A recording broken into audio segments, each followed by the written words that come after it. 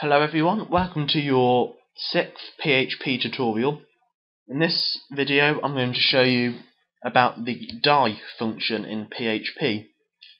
Now what this does is, it will end the program and display a message if you want. So, to make an example of this, I'm going to make my PHP tags, and I'm going to do this using an if statement. So I'm going to make a program very similar to the one in the fourth PHP tutorial. I'm going to make a variable called x, make it equal to 80. I'm going to make an if statement saying if x is equal to 100, which it clearly isn't, echo out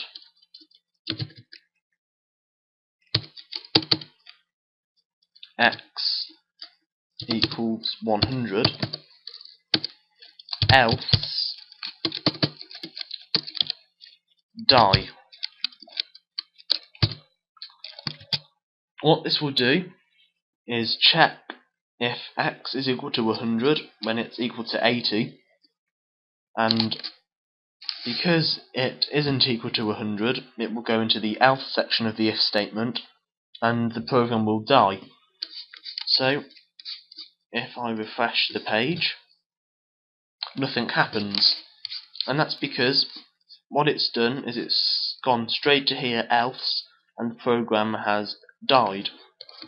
So so we can check that something's actually happening, within the parameters of die, we can put in some quotations, and this is effectively like an error message.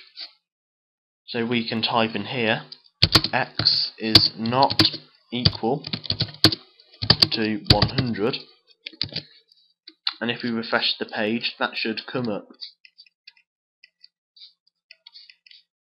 So thanks for watching this quick tutorial on the die function in PHP.